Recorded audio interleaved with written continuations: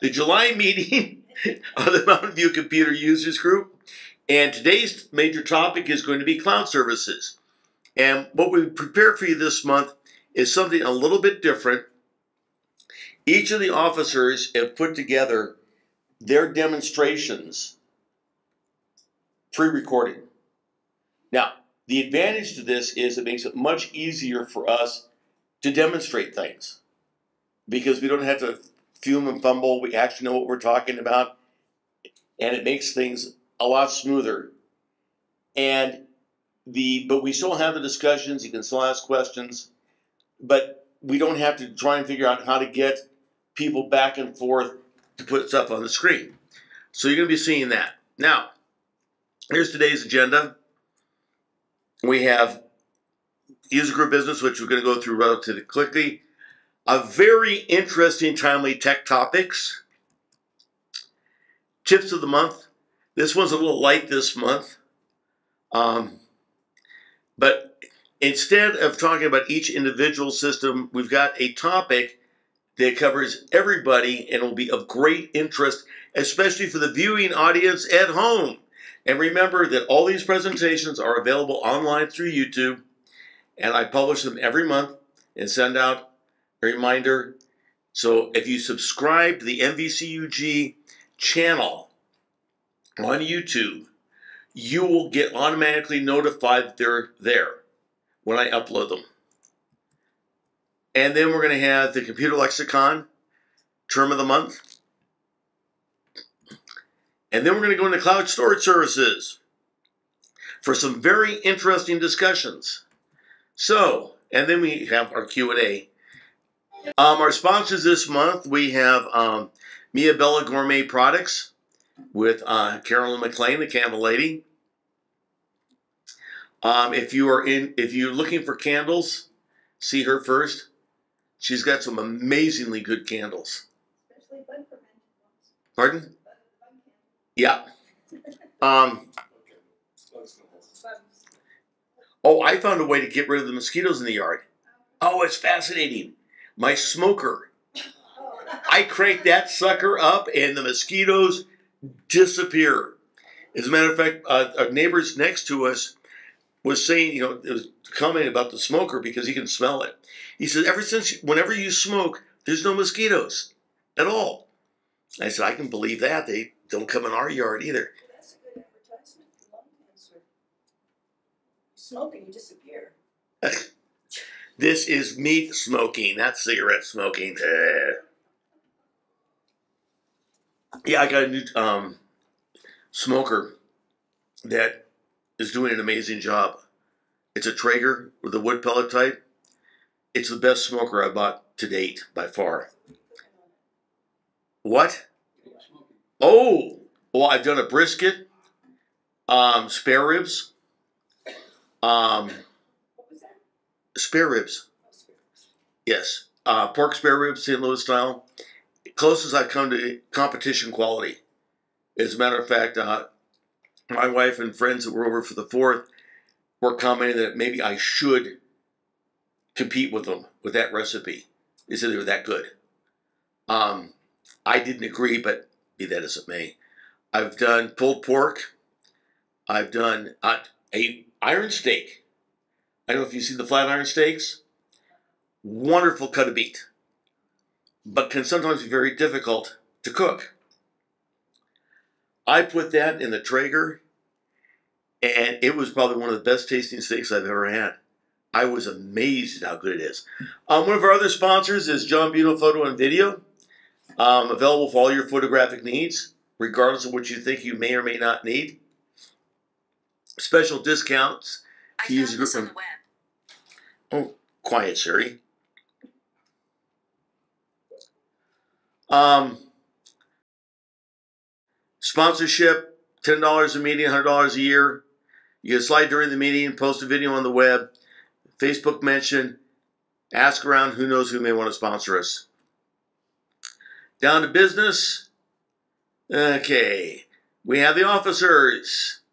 Me as the president. By the way, I am coming up for re-election next month.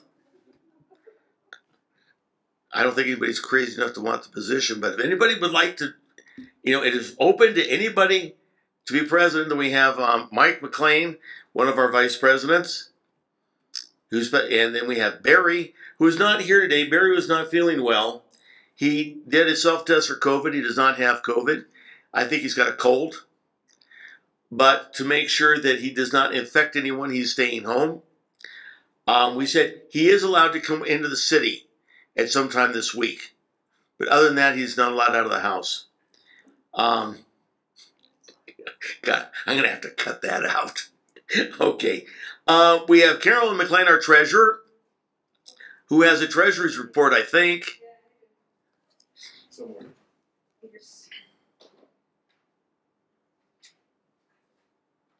have six hundred fifty-eight dollars and twenty-eight cents in checking and seven hundred twenty-five dollars and twenty-six cents in savings, for a total of one thousand three hundred eighty-three dollars and fifty-four cents. Did you get anything from uh College, no, from who? I didn't get the college for it, this month's bill. No, I, I mean from uh, a donation from Bisbee. Okay, I'll have to remind them. Um, okay, so we actually have enough money to keep us going for a couple more weeks. Um, we have a webmaster, Jim Emmons, who does in fact exist. I got an email from him this last week. Um, now we're not going to go through your introductions. You all know who each other are. There's nobody new here today that I can think of. You all look familiar. Uh, some of our resources we have our website, mvcug.org,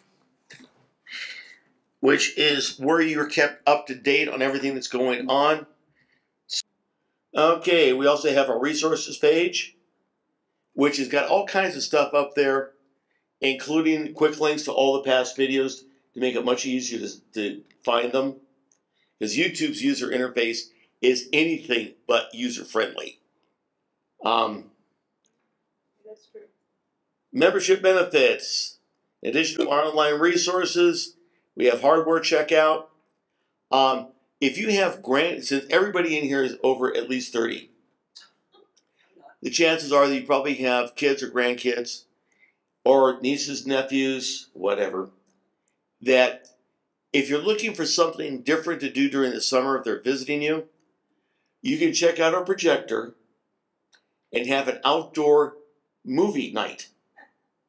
You can project it up against a sheet on a wall in a patio, and you can get almost a 10 foot screen. It's, it's almost like being in a theater. And it's very easy to do. All you need to have is an, um, an HDMI input to the projector. And if you don't have that cable, I've got plenty of them. Um, you can do it from your iPhone, Apple TV.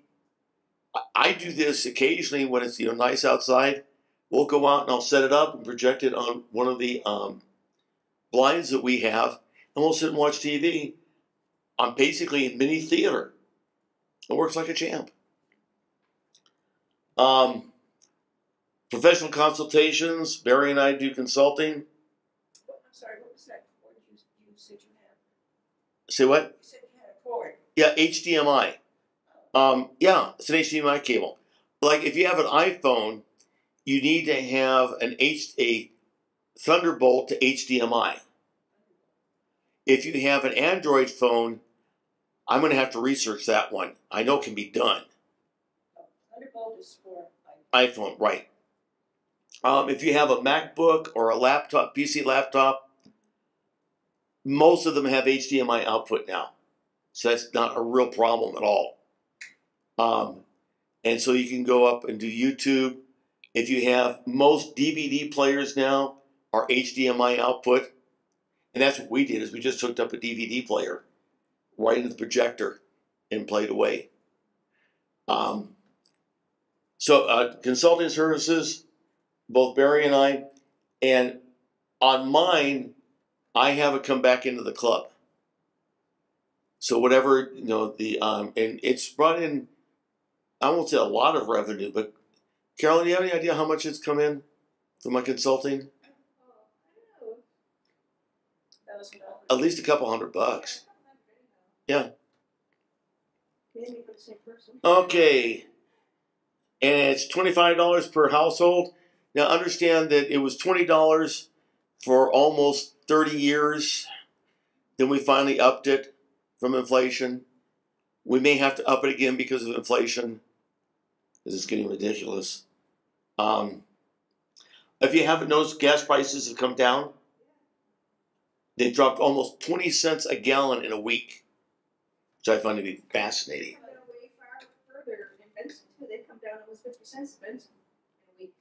Um, I checked up in Tucson. Tucson's almost a dollar a gallon less in some places. I was I don't know what's going on. Last I heard Benson was down Really? Yeah. Oh, that remind me, Gas Buddy. I'm going to show everybody Gas Buddy when we get to that. Um, because you don't have Gas Buddy, you're wrong. Okay, September through August. Dues are coming due in two months. So start saving your pennies and nickels and dimes and quarters and just stick it away. That way it won't be such a great sticker shock when you have to pay dues. You can pay, uh, has uh, Marion paid her dues? Yeah. Okay, because she asked me that uh, how to do it because she was going to give me the money. Yeah, I, I, yeah. Okay. Um, we have multiple ways to pay by a check, online, PayPal. Pretty soon we'll be accepting Cash App, low down Cash App, um, Zelle. I don't think so. Uh, yeah, uh, um, Wells Fargo is going to be doing Zelle very shortly. Uh, Zelle is a great way to send money. Cash App's even better. By the way, I'm going to warn you right now within three years, almost all of your transactions will be digital. You won't need to carry cash with you anymore, either through credit card or just using your phone. Um, they, the infrastructure with the banks to do that is going significantly faster than they thought. Um, and the European Union is already there, China is already there, Russia is already there, and we are finally catching up with everybody else. Um, in China, the major cities do not deal with credit cards or cash. If you don't have a phone, you can't pay. They just don't accept it. Um, and it's very fast, very efficient. Um, we when we were in China, we was our first, and they're implementing the same system here. Uh, in the United States, because the way our banking structure is, it's a little bit more complicated, but that's coming. Um, we have this meeting next month is modernization, and I'm scratching my head on that one as to what exactly I want to show. But we're hopefully we'll be talking about um, strides in the smart home. Hopefully, we'll get some more announcements on virtual reality and augmented reality because we're waiting for a bust. I was expecting when we did this last year that by this August we would have the major announcement we're all looking for. Hasn't happened yet. Um, we may have to change next month's topic because of that. And then September is the meeting that everybody looks forward to every year. It's my favorite meeting. It's when we talk about what you guys want, what you want to learn about. You get to tell us, say, hey, I want like I want tutorials on word processing. I want to learn about Microsoft Office 365. Do I really need it? What's its benefits? Um, what can I do in the cloud? Which is what we're talking about today. Um, so um, that's what we have going on. And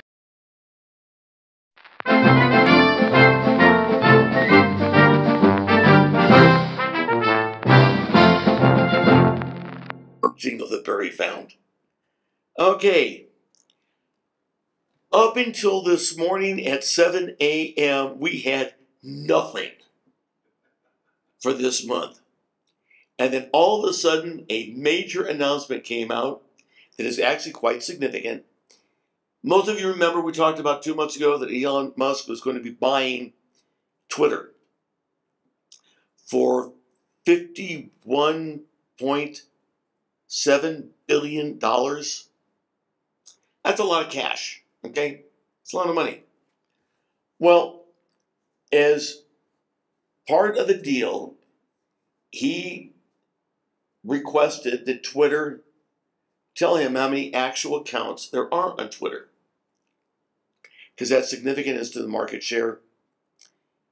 And he's asked how many fake accounts are there? Spam accounts. Twitter will not answer him. They will not tell him.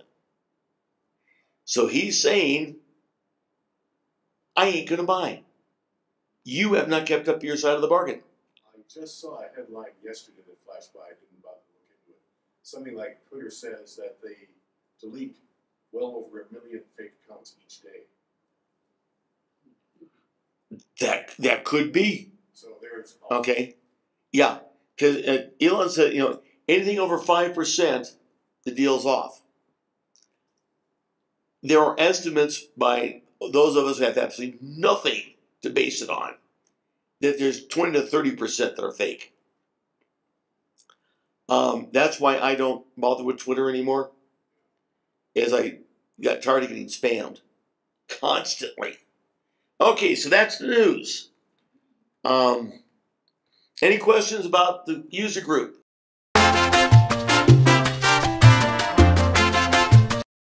A few seconds ago, I didn't have any apps to share, but I do want to share an app with you all before we get into our discussion topic. And I'm going to bring it up on my phone. This app is called Gas Buddy. If you don't use Gas Buddy, you're wrong. Now, here in Sierra Vista, it's not that critical. But in the major towns, like if you go to Tucson, Phoenix, anywhere else, it can save you lots of money. Let me show you what we get. Find gas. I'm going to click on Find Gas, and it brings up for me. Wow, prices dropped overnight. Okay, it shows me what the gas prices are of all the stations in town. I can do it by the price. I, I can show it by the deal price, distance, how far from me, by price. I can do it by distance. Ah, okay. The closest one to me is the Union 76, who dropped 20 cents a gallon overnight because they were at 4.99 yesterday. Okay. I can say regular, make grade premium, diesel, unleaded, E85, whatever I'm interested in. I can say cash, cash or credit, credit only. And a significant one there is pay with gas buddy. That's an important one, and I'll show you why. Okay? Let's say that, ooh, Valero, it shows 479 strike through 466. Now, what that means is, is that I get the Gas Buddy debit card and I use the debit card for that gas transaction, I get the gas at 466 a gallon instead of 479. Is that, when you say that, uh, that connected directly to your banking? Yes, directly to your bank account. I don't do any of that. It's a debit card. If you want to use this, okay, what you have to do is click on the deal and activate discount. And that activates when you use the card. If you don't have that card, you can't enter your credit card number. and it takes two to three days to get the discount. So you can use a credit card, it's just not nearly as convenient. Um, so this is done, and let's say I want to find out, oh, geez, I'm going to go up to Tucson. Let's find out because we were talking about the prices in Tucson. Ah, at the, wow, at the Circle K on Tanque Verde and Kolb, it's at 437 cash. Okay, Sam's Club is 438. Costco's sitting at 439. Actually, that's that, that's worth the trip to Tucson. Um, I can get 445 minus 18 cents a gallon at the Circle K. So this app is really worth getting. Um, now the price of it is a little on the high side. It's free. You can't get rid of the ads, unfortunately. But I use Gas Buddy probably as much as any program I have to find out. Now, be perfectly honest with you, the I don't if it's within five cents, I don't care. Because on 10 gallons of gas, it's only 50 cents. So it's not worth, but if we're talking about 30 cents a gallon difference, yeah, I'll drive across town to get it. For one or two cents, no. Um, now, the other trick is if you get the Circle K gas card, your first thousand gallons, you get 30 cents a gallon, regardless what the price is, 30 cents a gallon cheaper from the credit, from the cash price. No, uh, from the credit price. So I use that quite often because it'll be the cheapest price in town by a long shot. But it's only good for the first thousand gallons. But make sure that you get it here in Arizona because not all Circle K's carry it. When I was in California and I realized we stopped in Yuma to get the card and no cards. They were out. Went into California expecting to be able to pick one up. California doesn't have that program. So we had to pay. Fortunately, I had my gas buddy, which I was able at sometimes to get as much as a dollar a gallon less using gas buddy in California. So that's um that's gas buddy. Now I believe you can get to gas buddy through Safari. You can get to gas buddy through the app. Find gas. Search. Let's try Sierra Vista, Arizona. There we go. So you get through through Safari. That's why there's no app. On the mobile phone, it makes more sense. But it is available through the um, Safari on your Mac. But you don't often drag your Mac to the gas station with you. Now, let's go on. Okay, now the, the major topic, I'm going to go to Mike first. Let him talk about his Windows bypass login. And No, no. This is just a simple, uh, little tip that I use. I've been, I noticed I've been getting spoiled lately because my laptop there, this newer laptop, uses uh, a fingerprint for sign in. My Surface One that I have at home, that uses facial recognition. My old desktop, which is eight years old, still uses a login. And I get tired of having to stop and do a login. There is a way around that with Windows. By default, they always, of course, make you create an account and you have to log in. The way that you get around that is go into the Windows search box and type NETPLWIZ. That brings up the old network user account dialog box from previous versions of Windows. They have a lot of stuff still in there from old Windows that's really kind of difficult to get to. That's one of the things.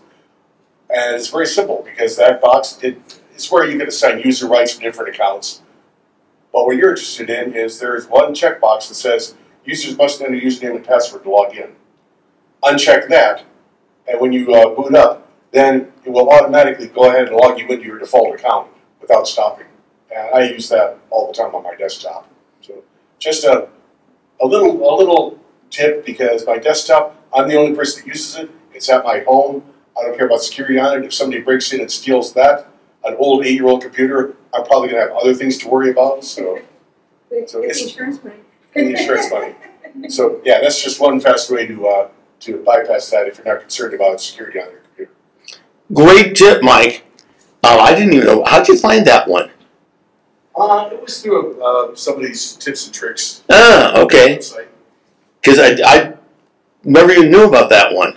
I must have run across it years ago because I've been using automatic login, but I don't remember doing it this way. Yeah.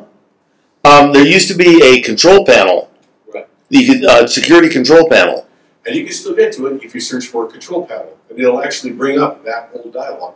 Really? Okay.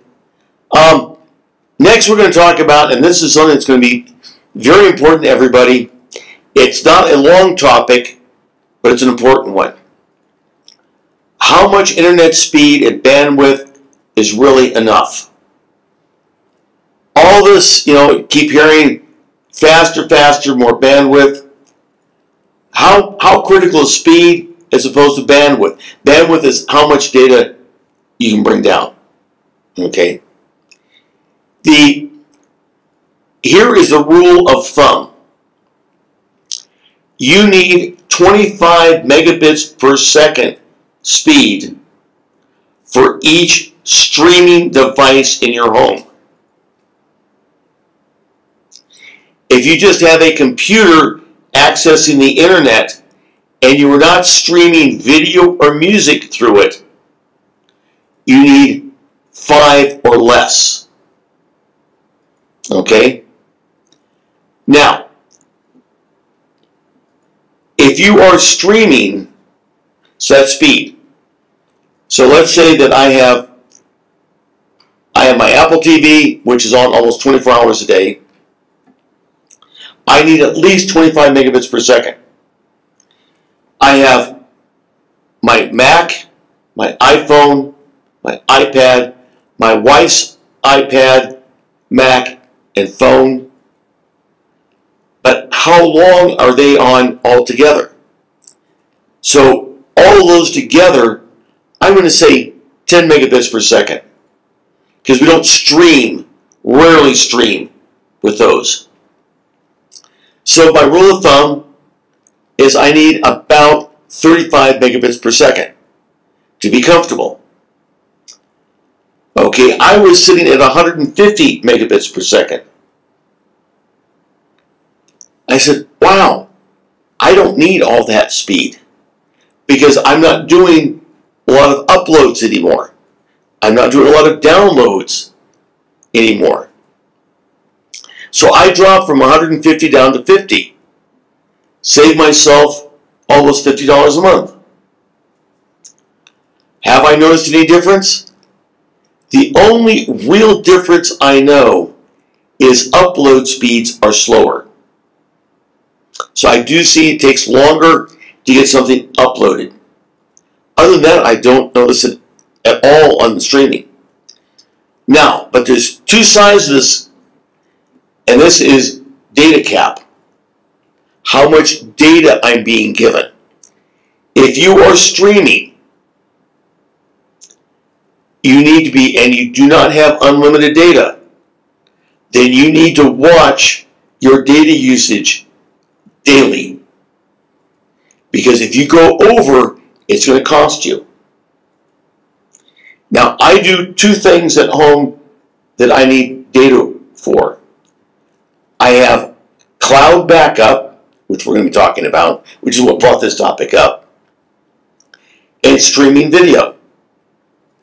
Because of that, I realized, well, I didn't realize, I found out I was blowing off my maximum data about two weeks into the month.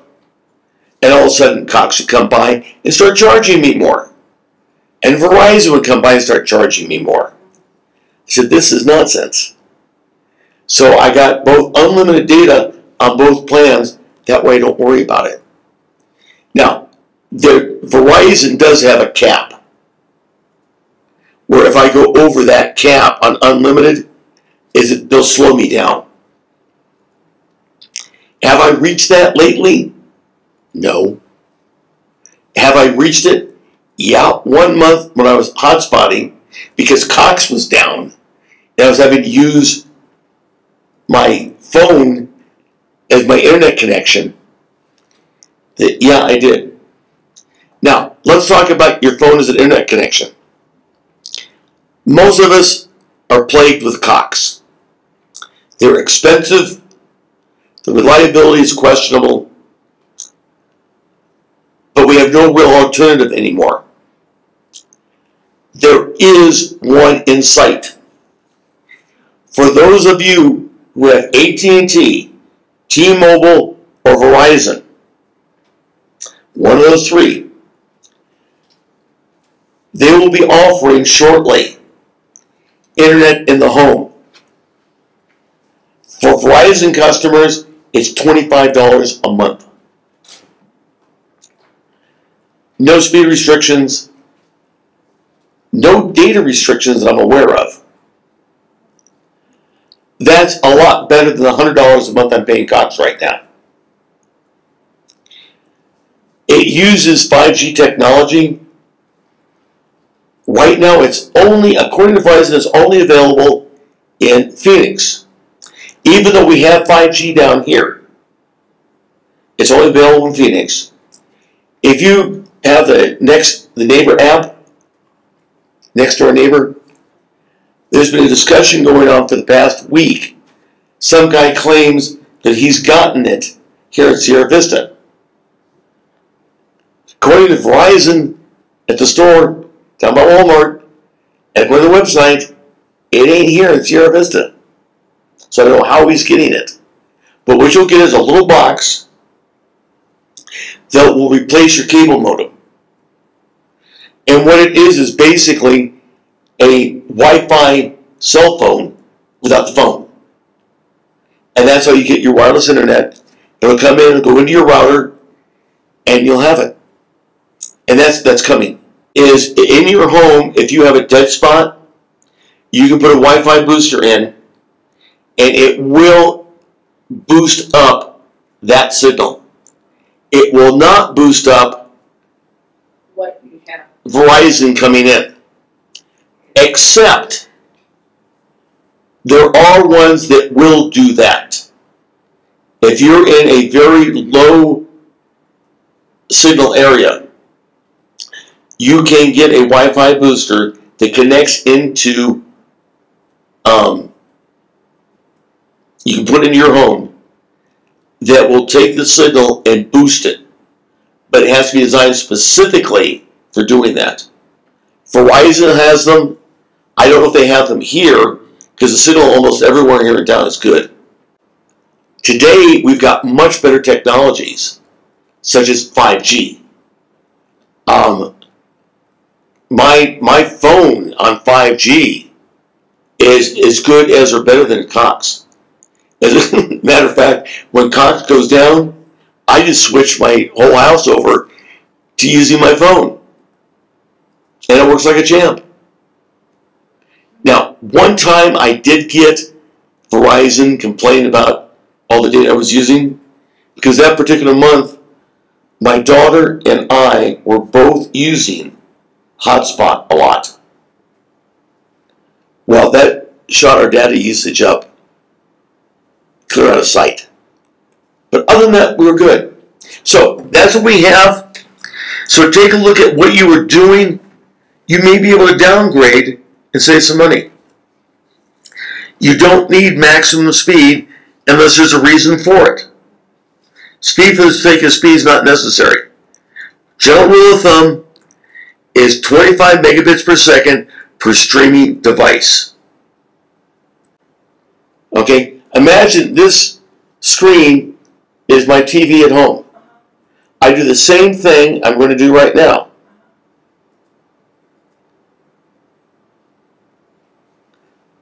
There it is.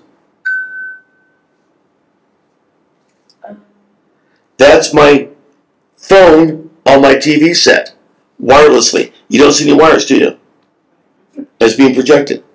I do that at the house all the time. When my daughter calls, FaceTime, I'll take and put it on the TV set so we can see her. And that's how I use with my iPad. Now, if you're going to be doing that on a regular basis, you should get a 4K TV set. Because the resolution on a 1K TV is not nearly is not good enough to substitute as a computer monitor. 4K is. That's the type of TV set. It's a resolution. Ultra high resolution. And they run what are they running right now? About a thousand dollars. But that price is going to be coming down starting right now. I've been seeing the sales coming in. There's a glut of TVs, appliances on the market today. They all came in out of China at one time, and so they've got to clear the warehouses out. I'm seeing large screen TV sets. My daughter's been wanting to get a, a bigger. Her, her screen right now is about like this. Okay, and at her new place, you barely see it. I complain about it constantly. I was looking at a 55 inch TV for $139. That's not bad. You know, I can almost afford that. 8K, I haven't been looking at. 4K, I haven't been looking at. 8K, eh, that's iffy right now. Is whether that's going to become a commercial product or not. Um, because 8K, tech, and we're talking about the resolution, the detail that you get. The 4K TV, if you want something really exciting, go down to Best Buy and ask to see a 4K TV. Say you're interested in it. Don't buy it. And it is stunning. It is stunning. Okay, so let's move on. Yeah, Mike, speaking of scams, be sure and check your credit card for an Uber Eats pending. That's the name of it. It's not pending in the credit card. It's Uber Eats pending is the name of it. If you see that and you haven't used Uber Eats, challenge it. It showed up on one of my credit cards, and it wasn't the credit card we normally use for Uber Eats. I thought, well, maybe my for some reason my daughter, I don't know why she would because she just goes up and orders it, and it goes on the center. So I said, I mean, did you? She said, no, I have not used Uber Eats in a week. Okay, then what's his charge? So I got a hold of the bank, closed down the card, put an inquiry into it, and and then I did a search on the internet about it. Come to find out, it's a well-known scam. I mean, hundreds of people reported it. So I got my money back. It was a bogus claim. And this, what they do is, so you understand, is that they don't have to get your credit card. They will go through and generate card numbers and on a site that does not ask for the date or the CVV code. And when they get a hit, that's when they make the charge to see the charge go through. If it does go through, then you can expect a big charge. I found this out from the bank because one time I was sitting there with a $5,000 charge on one of my cards.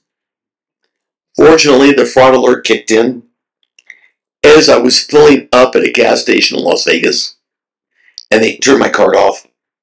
I said, What gives? Well, did you just make a cruise reservation for $5,000 on your card? No, ma'am. Not at all. Well, it just popped up. How is that possible? Then she went to explain it to me. It's getting harder and harder for them to do it, but it still can be done. Okay, moving right along. Great time, Jim. Okay, yeah. Questions, answers, we've already done that. And it's now time for a break. Okay, so everybody take a break. We'll be back in about five minutes. Okay, folks, we're going to continue now that the break is over. Now we're going to talk about our computer term of the month. And it's going to be cloud computing and cloud services, what those terms mean, because that's what we're talking about this month. Now, these are two different definitions. I don't expect you to try and read them on the screen right now, but when you're looking at these at your home and your leisure, you can sit and look at them. But basically, cloud computing is where you are working on a computer not at your home. It's someplace else, and you don't really care where it is, because that's what the cloud is called. It's just out there. And originally, it was mainly storage. But that's not true. If you think about it, that we have been doing cloud computing longer than we've been doing desktop computing. Because the old IBM mainframes, the old uh, mainframe computers, we would all be remote from it. And we'd have to log into it. And we never knew where the computer was. It wasn't on our desktop. It was in some computer data center someplace. So we've kind of got a great big circle, come right back to where we were 50 years ago. Now, granted, the computers of today are significantly more powerful than the computers of yesteryear. My watch has more computing power than an IBM 360. Okay? An IBM 360 would take up this room. I'm wearing basically an IBM 360 on my wrist. And this is an old one. This isn't even one of the new ones. Okay? Uh, three years old, four years old. Oh, that, but in computer terms, that's a long time ago. That's ancient. Um, but here, you know, the definitions. So it's basically remote operations. Originally, for the, in the PC world, it was storing remotely. That you had a drive out there that somebody else took care of, and you could put documents out there. The World Wide Web brought it in because the when we go to a web page, we didn't know where that web page was. We didn't know where the computer was. We didn't even really care. Now we have whole applications, and I'll be showing you those. And for those of you who don't know, that Apple provides word processing, spreadsheets, presentations, photo albums, all free to anyone. And you can access it through your web browser. I'm going to be demonstrating that. So if you have simple needs, i.e., you're not writing a dissertation or complex business documents, government contracts, Pages works just fine. And it's free to anybody. It's available. It's a cloud computing application. So, what are services offered? Well, here's a big long laundry list. Um, talking about web-based computing, um, a bunch of acronyms, software as a service, platform as a service. These are all cloud terms. Don't worry about that. I just put that up there so if you ever hear a term, like if somebody says SaaS or PaaS, you have some place to go and look at what it is. It's cloud computing terms. It's basically that you can set up an entire PC on a machine that you don't own. Let's say that Carolyn goes out and gets a job tomorrow morning. She gets rid of her laptop. Or she needs a computer more powerful than her laptop is. Or she wants to start using her iPad. You can now, they can set up to where you have an IBM PC that is remote. You get it through the cloud. Those are called remote desktops. works like a champ. That comes under the PaaS. platform as a service. I use these in my work all the time. We have different computers set up for different functions. As testing computers, as we go through testing software. So if we break something, that it's a remote remote a remote machine that's not going to be affected. And that's currently available. Now, you only find in business most of the time. It is out there. And many of you see the web applications. Now, for those of you who do online banking, got news for you. That's an actual application that is running on a remote computer. You just don't realize it. They have generally a user interface that keeps the actual computing hidden from you. Those are applications. YouTube is a video application. I mean, you can actually go up and do actual editing. In fact, we saw it last month on doing the um, voiceovers. The uh, I can't remember the, the uh, fake, deep fake. Those are all online applications. Now, where do you use those a lot? Well, when you need a lot of computing power the desktop can't give you. That you actually feed the data in, it does it remotely, and then gives you back the results. Completely transparent to you. You don't really know where that computer is, nor do you care. Does bring up some security issues. And once again, I'm going to state this. Please, please, please, if you get an email or a text message asking you to go up and verify anything, don't follow those links. They're a scam. Now, I just got an email in from American Express saying I needed to go up and verify data. The message went to great lengths to prove what was one, A, from American Express, giving me information only they knew, and telling me that I should go to the site through my normal means. Don't use any links in this email, which they didn't have. I went up and checked the sender. Sender was American Express. Now, scammers are getting better and better at faking this. So just remember, if it comes via email, don't follow a link to verify information. If you follow, if you go tap a link in an email message or a text message, and it takes you to a site asking you to log in, don't. Quit that page and go back in how you normally go to your bank site, Facebook, whatever. If you can get two factor authentication, please use that. Now, what's two factor authentication? I go up to Facebook, go to log in. It sends me a text message with a passcode to get in. Fine. That way, if somebody tries to get into my account or tries to change my password, they can't because they don't have my phone number. They can't get that passcode.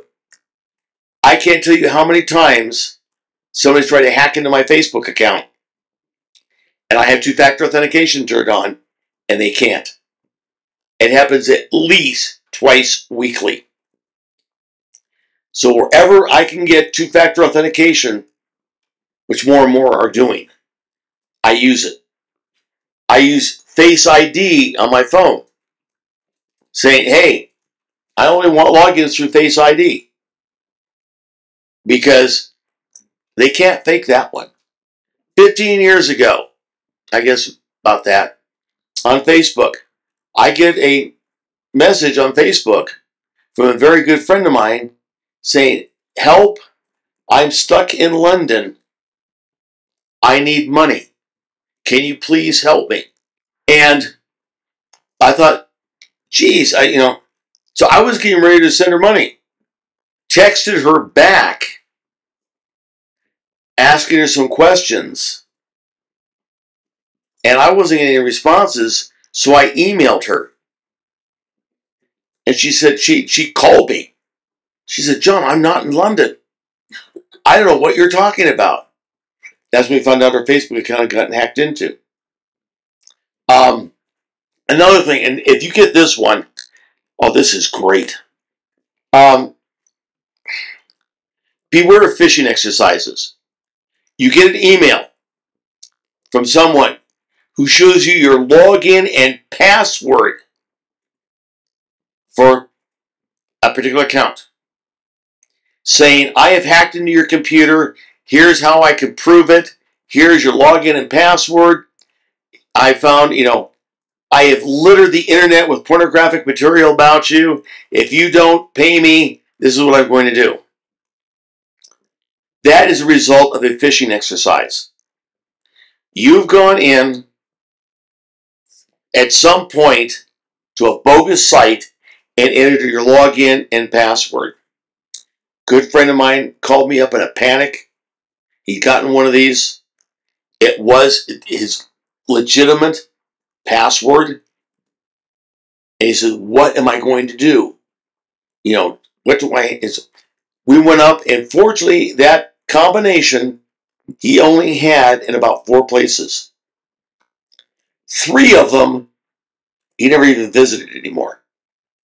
The one that was significant, we went up and changed the password. He says, Well, what do I do now? Do I have to notify everybody? I said, You don't have to do a thing. What they're trying to get you to do, since you write down there where it says send you money through Bitcoin, that's what's trying to get you to do. Don't send anybody ransomware.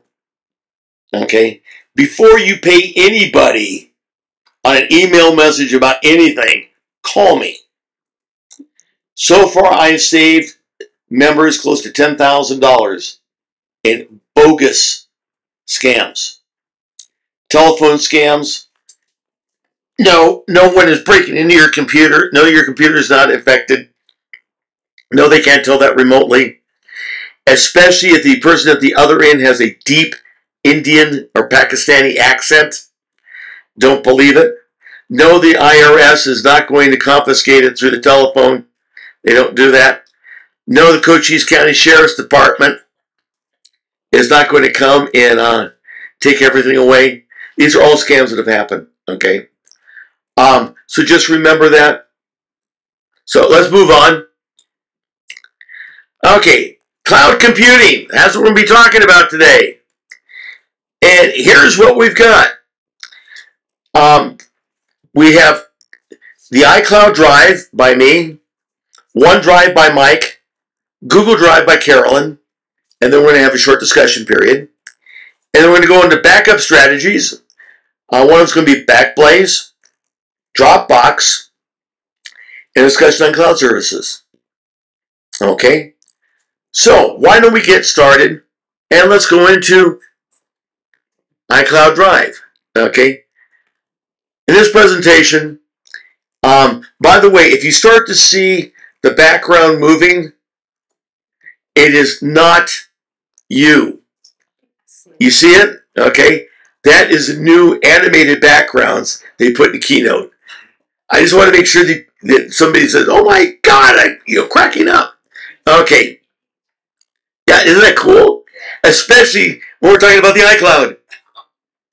Okay. The iCloud, think of it as a virtual drive. It's available on all Apple devices it is a virtual drive. It's accessible anywhere you have internet.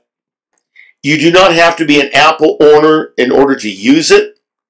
Now, to get it, all of its services, yes. But there's a lot you can do without an Apple device. Services like what? You'll see. It's coming. It syncs with all of your Apple devices. So this allows you to have all of your passwords available on all of your devices without you doing anything. All of your contacts available without you having to do anything.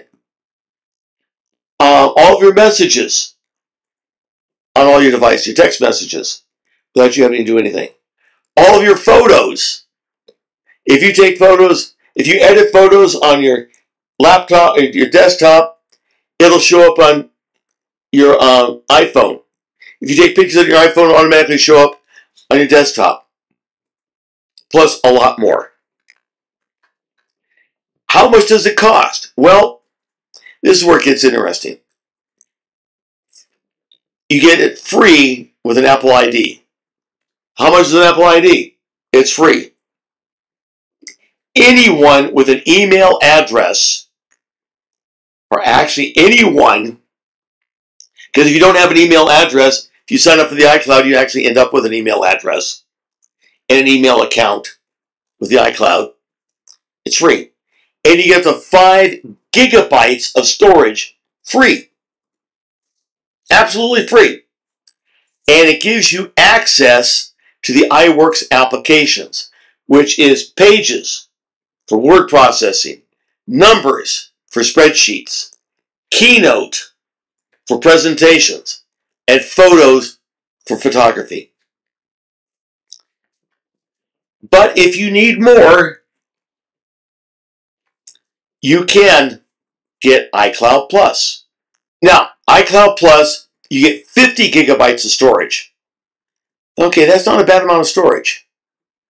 Plus, you get iCloud Privacy Relay Beta, which means it hides your IP address from anybody on the internet. Also, you have Hide My Email, which means it gives a fictitious email address that it links to your email address so that they can't send you bogus emails. You can have a customized email domain. Let's say you decide to go out and buy your last name, let's say smith.us. That's your domain. Well, ordinarily you'd have to go up to a company and get an email account to use that for email. With iCloud Plus, you just go up and link that domain to the cloud and you start getting email right to that address for free. Well, actually, for the cost of an iCloud Plus, which by the way starts at 99 cents a month or $12 a year. Believe me, that is a lot cheaper than the alternatives. Right now, and I'm getting ready to switch, Buno.us is costing me $300 a year. $120 a year, $300 a year, I get a lot more. That's why I'm switching. Okay, you also get HomeKit video support for cameras, and you can share everything with up to five family members. And that's for a dollar a month. That's not bad. Well, the next tier is $2.99 a month. Yes, I know. Because I didn't change it on this slide. It's two different slides. And I'm not going to bother changing on this one. Okay. So, now the next tier up is uh, two terabytes for $10 a month. And that is cheap for two terabytes of data. And you get basically everything we talked about, but more storage. Now, don't forget, you get everything we started the first one. These are additional. So let's go in now and find out. We're going to take a look at first on the Macintosh. The iCloud settings on Mac OS are found in your settings panel under system preferences. And then come over here where it says the ID, Apple ID. And inside of there you'll see this menu under iCloud right here for all the applications that use the iCloud. And you can scroll down and turn these on and off. If you turn it off, then you'll not be able to share anything with anyone else except on your computer. But of note is down here where it says iCloud Storage. Come over here to Manage. And you can see all the applications and how much space they're using in the cloud. And we're going to go down here because I have some applications I no longer use, such as Ballistic Baseball. I don't even remember that one. I'm going to delete all the files on that.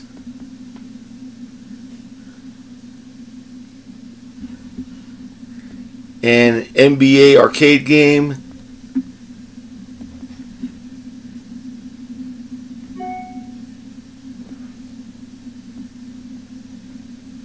And I don't even recognize that one.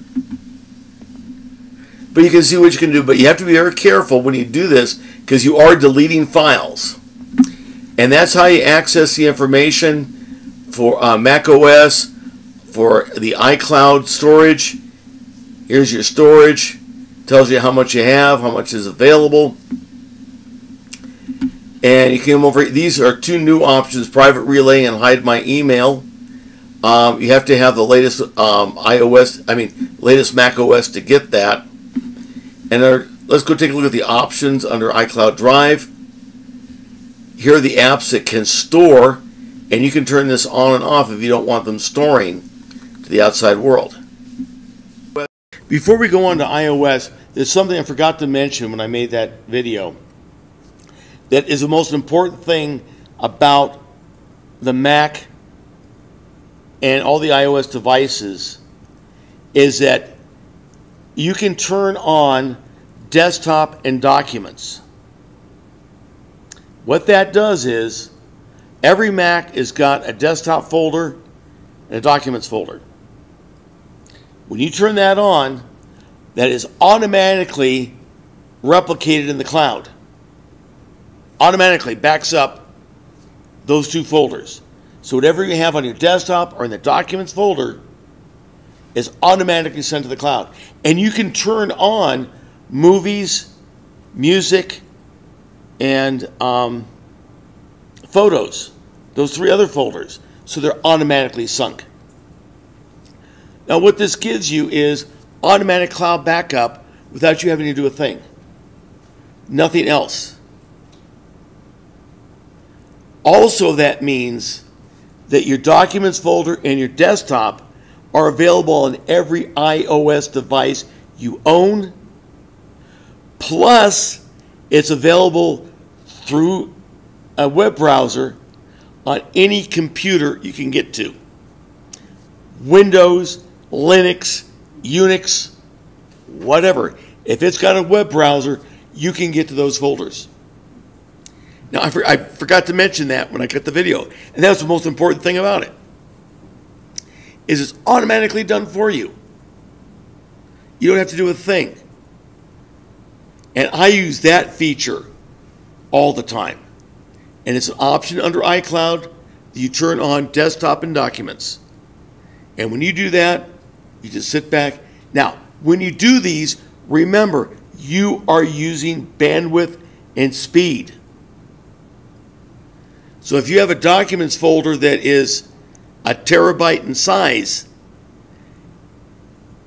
it's going to have to send up a terabyte of data to get it up there. Now, once it gets up there, it only has to send up changes. But if your data plan only gives you 100 gigabytes of data total, and you're trying to send up a terabyte, guess what? You're going to get charged for 900 gigabytes of data. You have to think about that. I back up to the cloud. I have three, four terabyte drives that are 50% full. That is eight terabytes of data that I had to upload to the cloud to get it up there. That's when Cox went totally ballistic on me. That's why I have an unlimited data plan.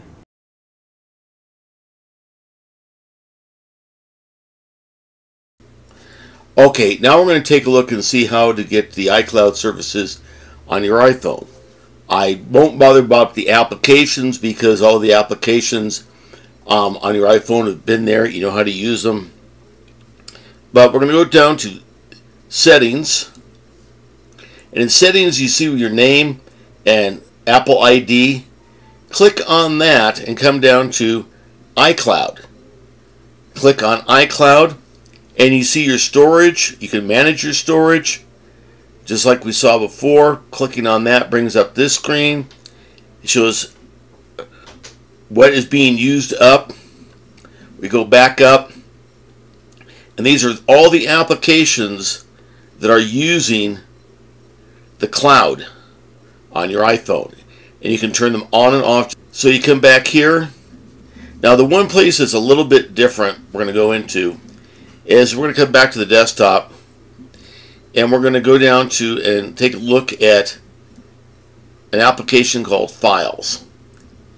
And on your iPhone, this is how you get to the documents that you have on your computer.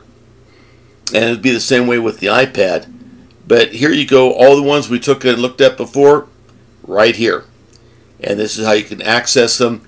Now, if you're going to the applications, it automatically goes into the folder in the cloud for pages, for Keynote. So that's already there. You don't have to worry about that. If you want to get other ones to open up in different applications, you go through files.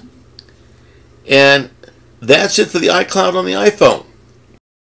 Now let's go in and take a look at on a browser what you get with the iCloud.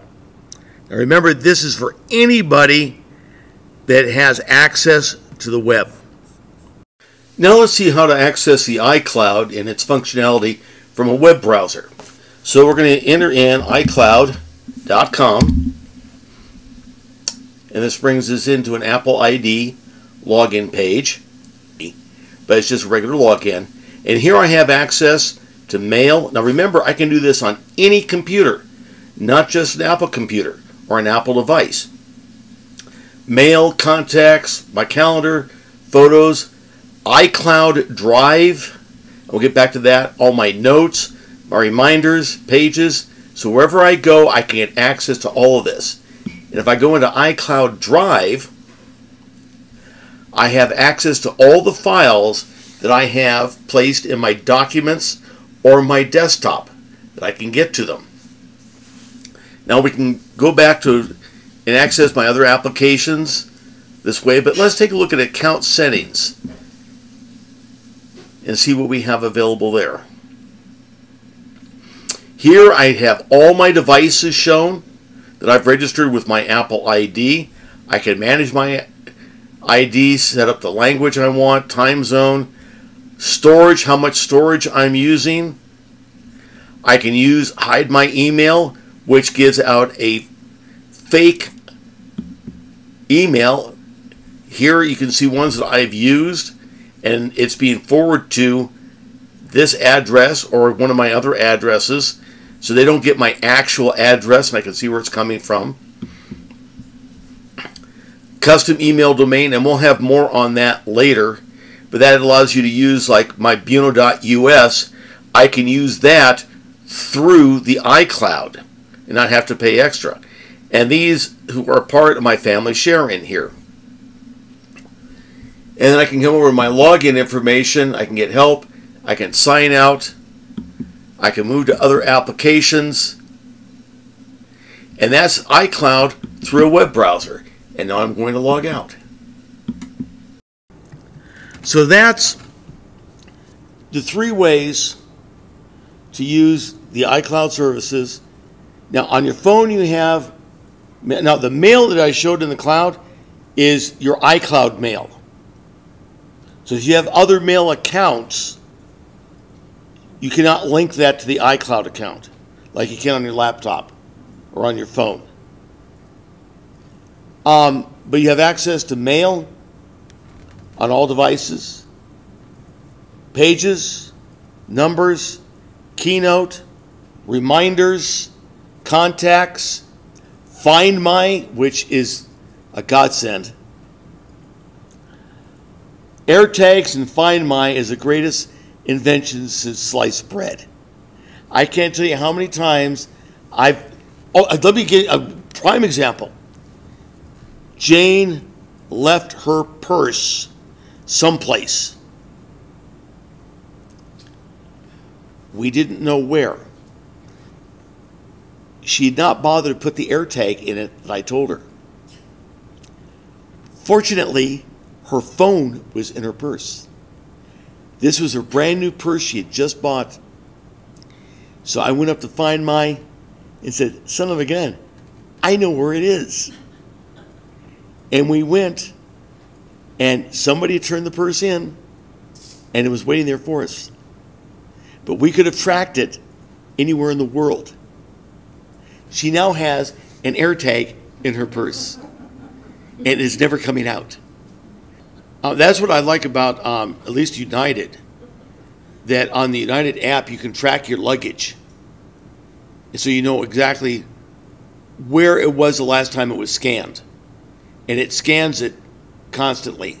Like when it puts goes onto the plane, it's been scanned.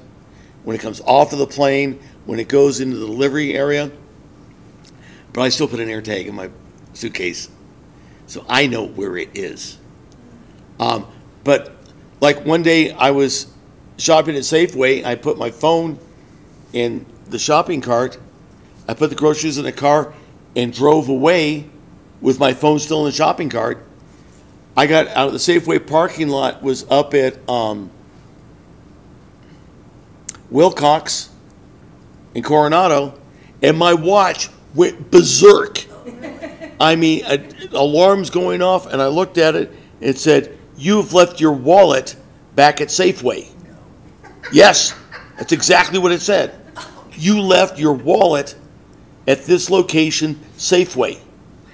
So I whipped the car around, went back to the Safeway parking lot, went back up to where I had parked, and there in the rack of, was my phone, still sitting there. Okay, any other questions? Okay. No questions? We're going to go back to Mike's presentation on OneDrive. Now, OneDrive is very similar, but it has different services. So we're talking about software as a service, while OneDrive is storage like iCloud. It provides completely different services to the end user. So let's go up. OneDrive, while they both generically are cloud drive services, uh, functionality, that the services provided are completely different. Like OneDrive does not include spreadsheet and word processing for free. You have to buy it separate. Now, both of them are compatible with OneDrive. As a matter of fact, they almost force you to use OneDrive. But it doesn't come free with it. But let's take a look at before we'll discuss it after we see what Mike has to say. My name is Mike McLean, and today we're going to do a brief overview of the Microsoft OneDrive Cloud Storage Service. The requirements for Microsoft OneDrive are that you must have a Microsoft account, and if you don't already have one, you can get that at account.microsoft.com. That does include 5 gigabytes of free storage, and you can upgrade to 100 gigabytes of storage for $1.99 a month or $19.99 per year. A couple of other alternatives is you can sign up for OneDrive for Business. That provides one terabyte of storage per user, and plans for that start at $5 a month per user. Or you could get a Microsoft 365 personal subscription that provides one terabyte of storage at $6.99 per month or $69.99 per year. Or you can get a Microsoft 365 family subscription, which provides one terabyte storage for each of up to six family members, and that's $9.99 per month or $99.99 per year. And now let's take a look and see how Microsoft OneDrive works.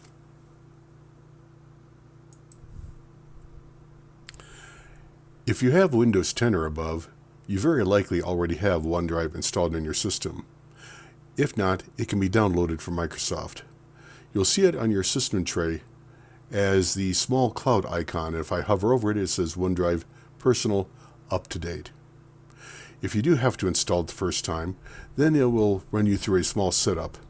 Let's take a look at the configuration. If I, what, if I click on this once, it brings up this control screen. First, let's look at the configuration menu where I'm going to go into settings at the little gear in the upper right and see what that's got for me. It has several options. I'm going to look at settings. And that brings up a settings dialog tab. The first thing it tells me is that my account is tied to my personal email address and how much of my storage I'm actually using. It also gives me the opportunity to unlink this PC from the cloud service. It allows me to choose which folders are available on this PC. And these are the folders that I have available from Microsoft OneDrive that I can get to from this PC.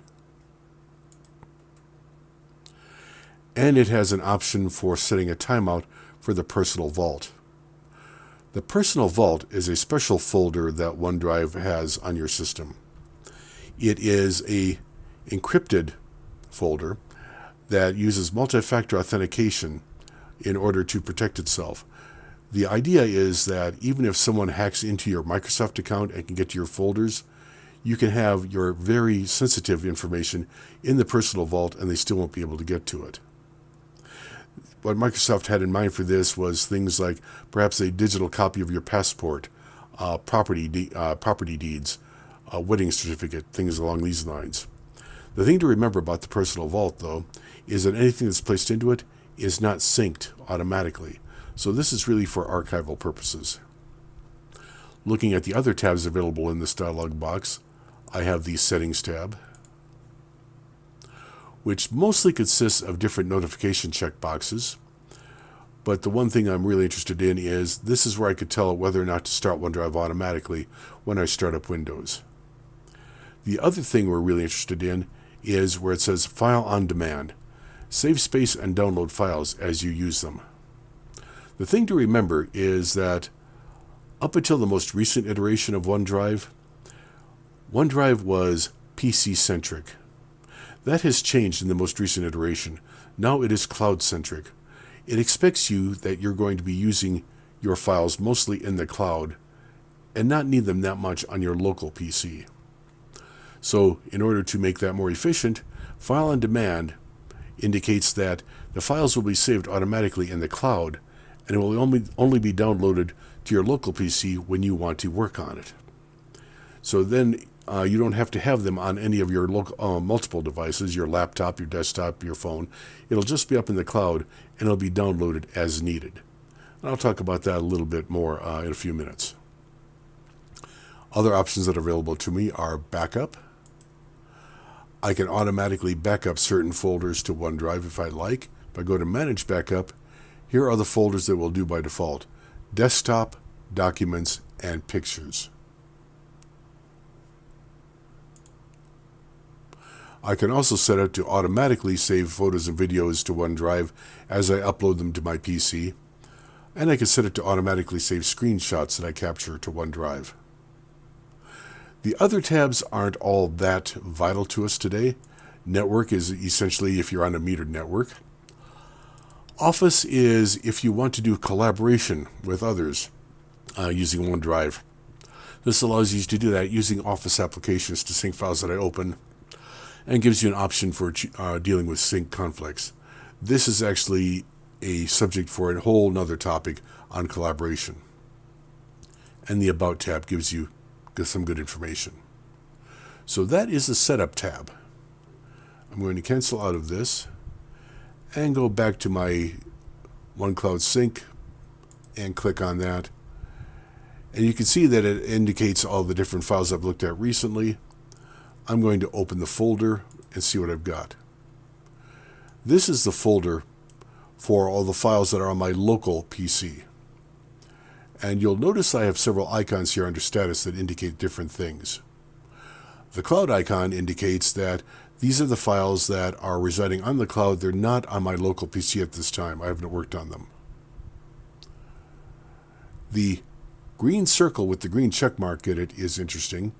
That indicates that there is a file that I've been working on locally. I downloaded it from the cloud automatically to do work on it.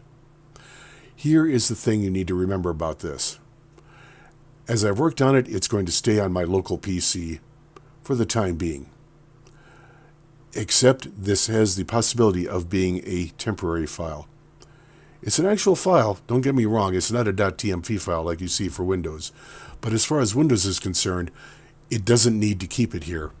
If I were to run disk cleanup, then Windows would treat this like a temporary file and delete my local copies because it knows I have master copies up on the cloud server.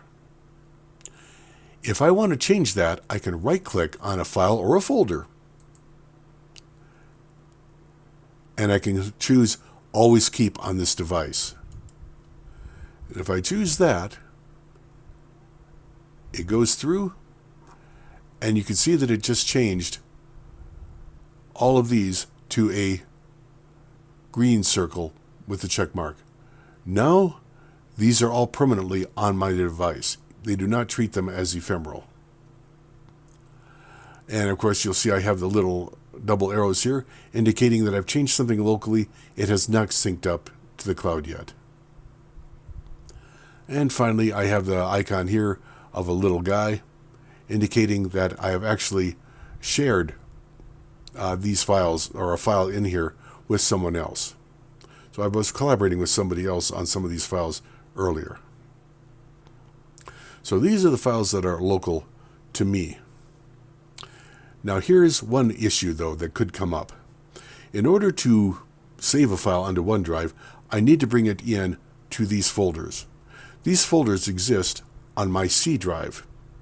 OneDrive automatically installs on my C drive under my username and a OneDrive folder. So in order to work on a file, I need to bring it in here. That puts it on my C drive. Well, what happens if I have an external hard drive that has, like, shall we say, 500 gigabytes of photos that I'd like to back up to OneDrive? I have a 1 terabyte OneDrive. That's no problem. I can do that. However, my C drive is only 256 gigabytes because it's an SSD drive. It's used mostly for boot and not for sharing. So what do I do about that? There is a workaround here. I'm going to close this for the moment. And I'm going to open up my OneDrive thing here again. And you can see that I told it to save all those files. It's happily downloading them all them now all now. I can go to view online here in the center.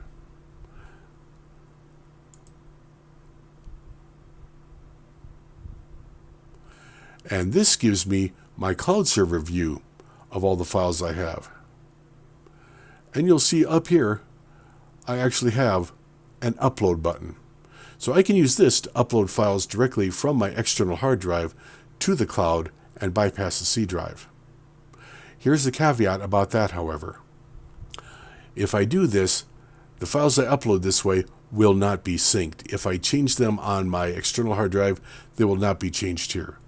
Only the files that are on the C drive are synced. So that's something to be aware of.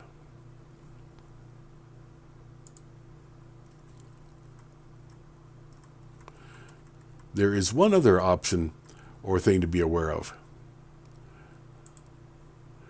And that is, I'm going to bring up my one folder again. You'll see my documents folder here.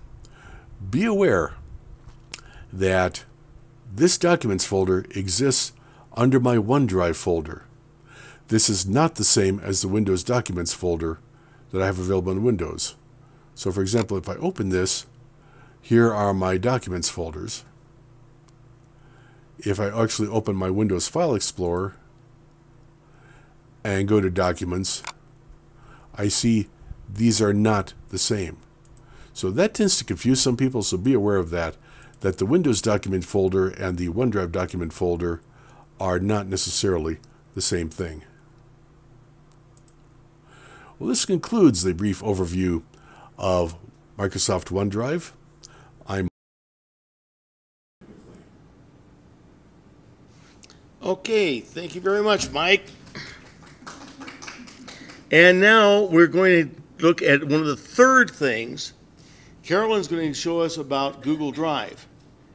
Now, Google Drive is kind of a hybrid between the iCloud and OneDrive. And I'll tell you right now, you either love it or you hate it. Um, I know that I personally don't like a lot of the Google application, like Google Write. I cannot get that to do anything I want it to do. Other people love it. It's one of the ones that we use for collaboration at work. So let's take a look at what Carolyn has to say. Today, our group's topic is cloud drives, and I am the one who is going to do the cloud, the Google Drive out of the cloud drives. And so, first thing I'm going to do is share my screen.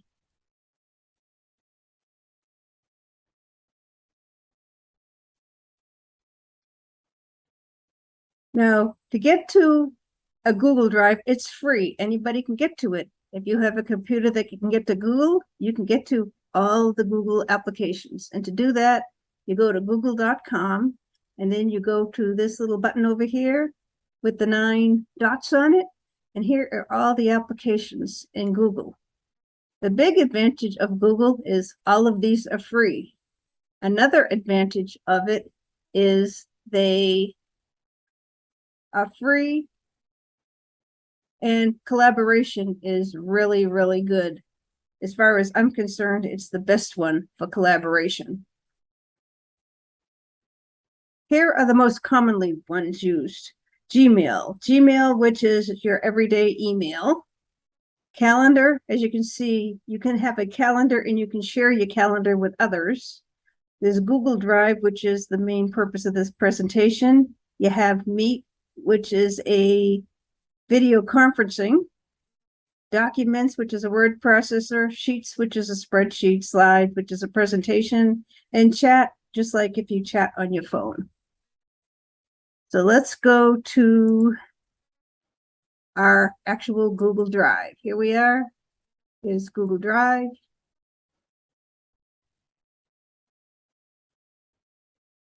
And like any other kind of drive, Google Drive, you can make folders and you can see the folders here. I'm going to go into my MVCUG folder. And I've already created a document for today. I called it new name. Don't ask me why, that's just what I called it. Now, when I get into this document, I've also shared it out with Mike, and he's in the other room, and he's going to type on this document. So here I am typing.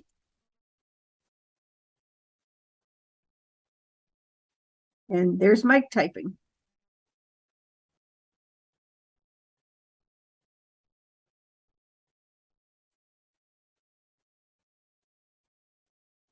He's typing it. So when you're in this presentation and collaborating, you can see people typing while I see people typing and anybody else who is shared on your document can type just like this, you know,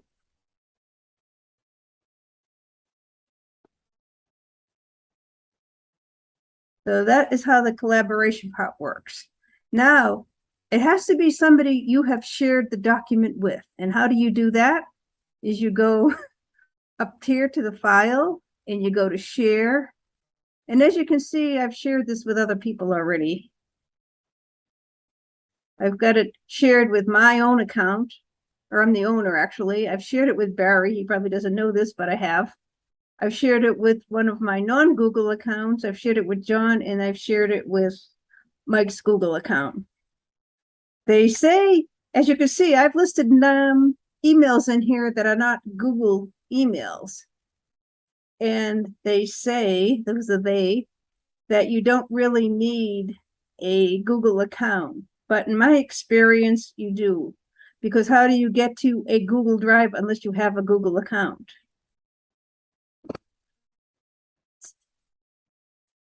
So that is how the Google account works. The disadvantage to these, though, that I always find is it's not real easy to share. Like, say, I, here's my Google Drive, and here is the drive on my computer, my drive.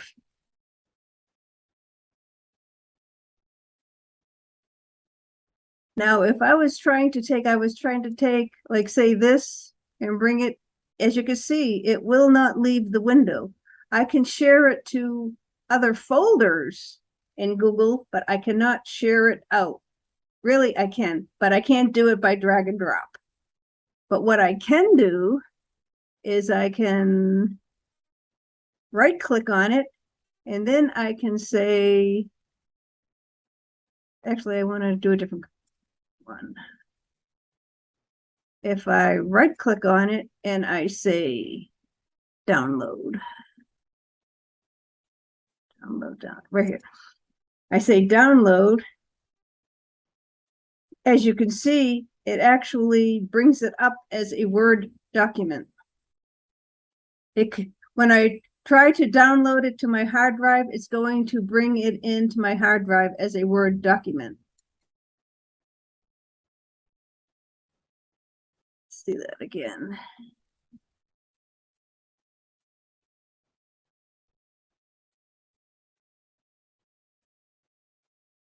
I'm gonna do one that's not a Word document to start out with. Okay, here's one that I just did. And if I say download, as, as you can see, it's converting it to Excel. It'll bring it up and you save it as an Excel document. So the only way you can share it to another one is to convert it to a document that has an application that is on your computer. However, what you can do is you can take something from your hard drive and you can bring it into Google Drive. Let's see.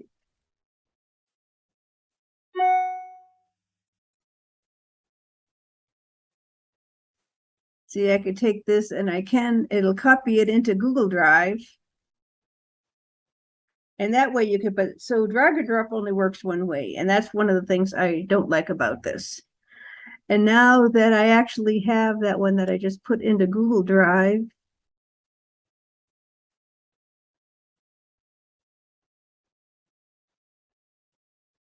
When it's in Google Drive, you'll see it converts it back into the Gmail version of Word. It doesn't bring it up as a Word version, even though I brought it in as a Word version.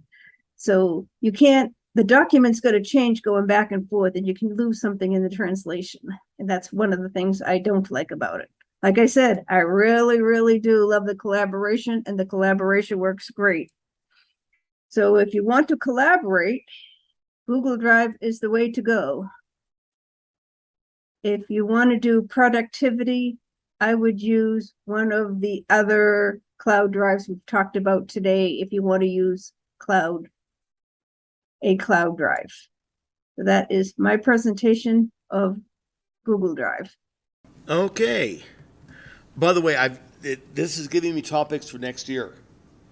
Um, one on collaboration, going in and showing how each one does collaboration, because they're dramatically different. Oh, they are. Um, another one on using Dropbox, complete because I didn't. I just covered Dropbox from the backup, and I just realized sitting here. I said, "Geez, I never showed how Dropbox works because it's very much like documents." And I don't know if one. In fact, this is OneDrive. When you save a document to OneDrive, does it automatically put it in the cloud or is it on your computer also? Depends on how you uh, have it set up. Uh, When I use Word, oh, everything, when you do Microsoft 365, it wants OneDrive. Everything will go to OneDrive by default. Yes. Because see, one of the unique things about using the iCloud is that when I save a document to the iCloud, that it is on my computer first, then it uploads it to the cloud. So I always have a copy on my computer. Always. Actually, one thing that OneDrive is doing, or that Microsoft 365 does that is driving me crazy, is I have automatic save turned on, which means that every time I do anything, it'll automatically save it. I don't get a save as, so when I first create a document, it happily saves it as document one. And then later on, I'll have to, to rename it, I have to go in, save a copy, save it as something else, and go back and delete document one. Oh, jeez. Yeah. Do Yeah, okay, because Apple does it a lot differently. It creates it untitled, Right. and as soon as you go to save it, it comes up and says, "Give me a name." And that's the way Microsoft used Yeah. to do it, not now. Okay, now the next one we're going to do, now that we're talking about the services, and we're going to be getting more of this because there's a lot of things you can do with this.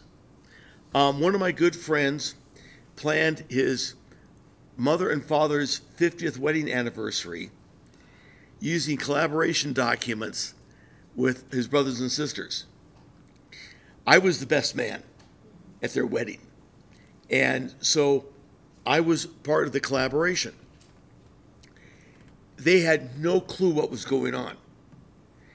And part of it was is that I did a video congratulating him, you know, on the and I uploaded it to his cloud account. He had it, he did his editing through YouTube, and it was seamless as what was going on. And because they were asking me, since none of them were there for the wedding, they didn't know what happened there. Okay. Um, of course, they weren't there at the wedding. Um, none of them have been born yet. Um, the what they didn't know is that the one of the comments the priest made is he never had a wedding which was run with a stopwatch.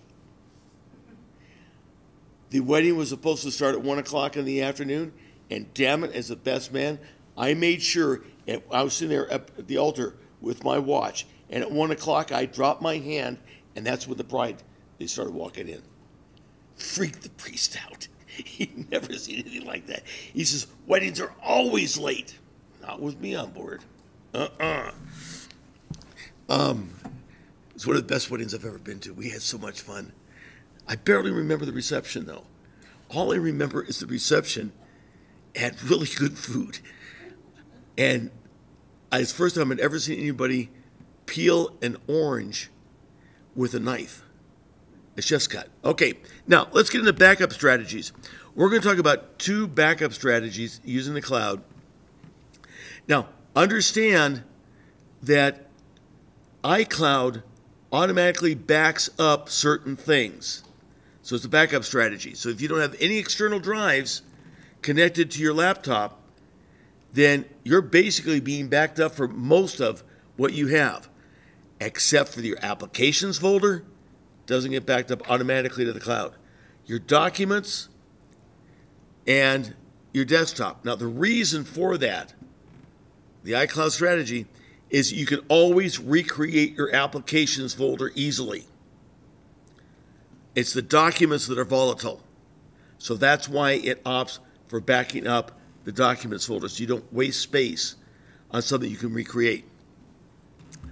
I'm not sure I necessarily agree with that, but it's a good strategy. Okay, so let's go and take a look at what I use is Backblaze. It's a back. Backblaze is a backup utility that's cloud based, which allows you to back up one or more drives to the cloud. Um, when you go to backblaze.com, go over to personal backup, and you can come down here and you see an overview, and you can go through these things. But let's take a look at the comparison because this will tell us the price. And they show you a comparison between Backblaze, which is $70 a year, Carbonite, which is another very popular backup program, CrashPlan, and iDrive. And this gives you all the things that Backblaze does for the amount of money. Now, the important thing is, is you how do we make backups and how do we restore? Well, I'm going to go sign into my account right now to show you what it looks like online.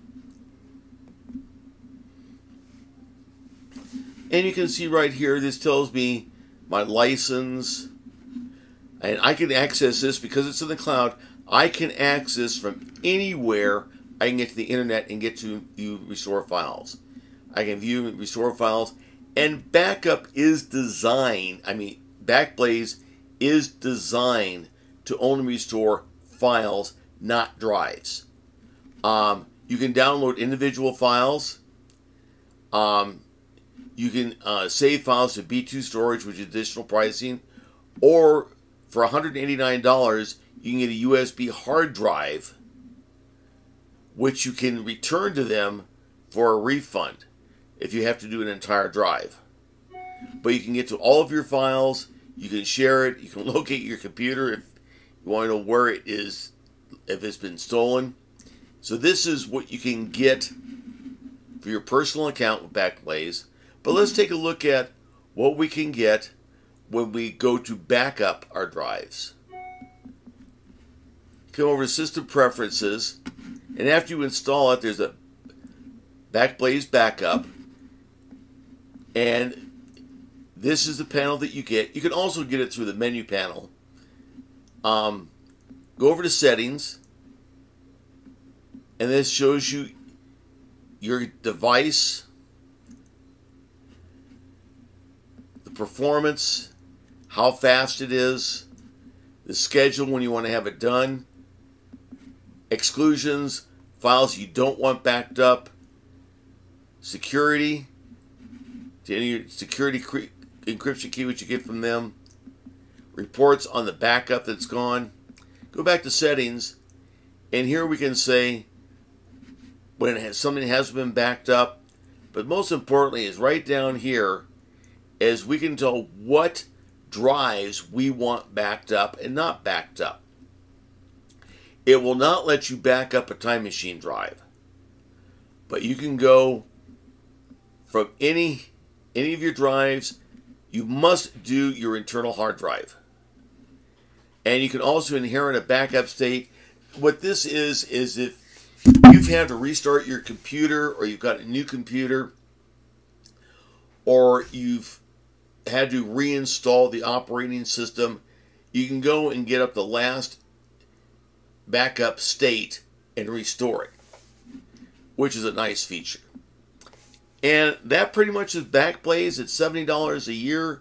Now, the big disadvantage of Backblaze is that it uses up a lot of bandwidth depending upon how many drives. In my case, I'm backing up multiple terabytes, about 15 terabytes, so I have to have a lot of bandwidth in order to get to it, so I have unlimited.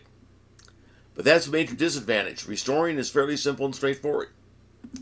So that's Backblaze.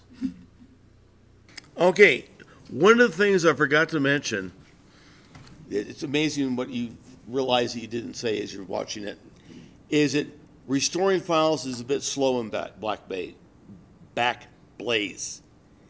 It can take half a day to get a file back, depending upon its size.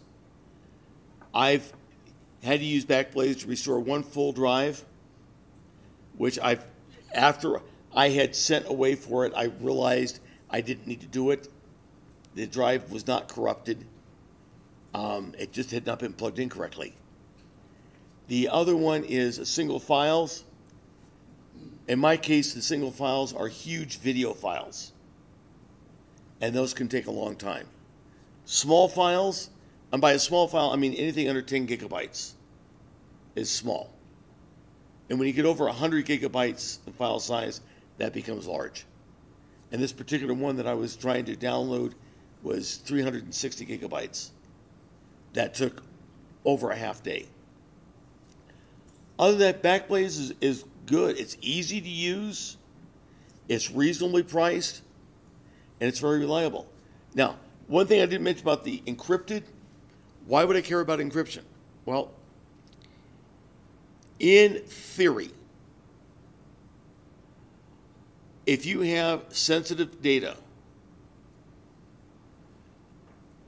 that you want to make sure cannot be read, then you would encrypt it. Such as if you have a file that has all your credit card numbers in it, that is not, you're not using either Dashlane or 1Password that does encrypt it. You just have a plain text file, one with all your passwords. Then, yeah, you better probably encrypt the backup to the cloud because, in theory, somebody could get in and read it. Has this ever happened? So far, no. There's no case that I'm aware of that's ever happened. so, the next one we're going to take a look at is Dropbox which just recently has come up with a backup strategy. Dropbox also has a backup strategy to the cloud. Now, to use that one, you first have to download the Dropbox app, and it's available in the App Store on the Macintosh. It's also available for Windows. Um, and after you install it, it's available as a menu option. Here's the icon for it right here. You click on that, and to set the backup, you go to your personal icon, go to Preferences, and in Preferences, you click on Backup, and then you get this uh, dialog box right here, and you hit Manage Backups, and then you click on Get Started, and it shows what it basically you can set up. You can add folders, subtract folders. The default is the same exact ones you get off the iCloud for nothing. Now, in order to get a decent aspect out of this, and we I, first I want to show you can add folders. These are the only folders you can add right now. Uh, if we go to setup, it shows you the prices to get additional space. Because without the additional space, you can't get anything except for the very basics off of your system folders. And as you can see, it's um, $12 a month, which is pretty much, that's for Dropbox Plus. For Dropbox Backup, it's $6 a month, but it only allows you to back up one computer and one external drive, regardless of size. To get more than that, you have to go to the $12 a month. For my money, I think Backblaze is a better deal to go. So that's what Dropbox gives you. What I didn't cover is how to use Dropbox on that, just to back up strategies. To me, Dropbox is too expensive. $12 a month versus um, that'd be $140 a year versus $70 with Backblaze. Don't think it's worth it. Um, it is faster. The, ba- the Dropbox backup is faster. I tried it out on the internal drives the free one, and it is faster. Um, so that is the discussion on cloud services, what you can get. It's come a long way from the old days of sitting in front of a console with the mainframe in the background and you could just type in messages. Or you had to submit data one line at a time. To now where you have full computing capability from your laptop. You can get the documents easily, backup. So the cloud is becoming a very, very important part of our computing lives. But more importantly, it's still very transparent. Most of the time, you have no idea you're using the cloud. And generally speaking, that's the way it should be. Okay, next month, we're going to be talking about um, the future